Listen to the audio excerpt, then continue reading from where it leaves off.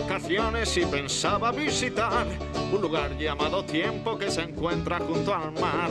En ese momento ignoraba mientras iba a la estación que tiempo llegaría a ser mi gran complicación. Al llegar a la taquilla tras la cola de rigor, le dije sin rodeos al señor del mostrador, hay por casualidad un tren que a tiempo llegue hoy, no importan los retrasos porque yo sin prisa voy.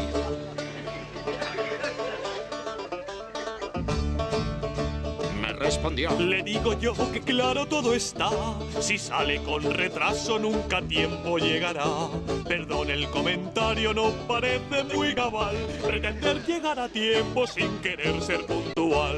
Si sale de viaje debe planearlo bien. Sabido es ya que a tiempo no ha llegado nunca el tren. Lo de los ferrocarriles no resulta la excepción. A tiempo no se llega ni viajando en un avión. No entiendo lo que tiene que ver, lo digo de verdad.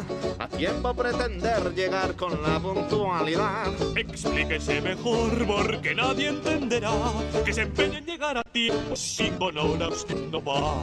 A tiempo quiero yo llegar, ayer lo decidí. No voy apresurado porque nadie espera allí. Lo que usted desea es imposible, pídole perdón, pues el tren no llega a tiempo por cuestión de tradición. Qué chasco me he llevado, qué tremenda decepción.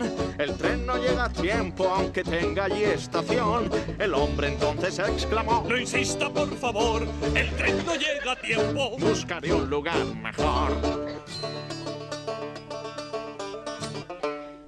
Pues no lo entiendo.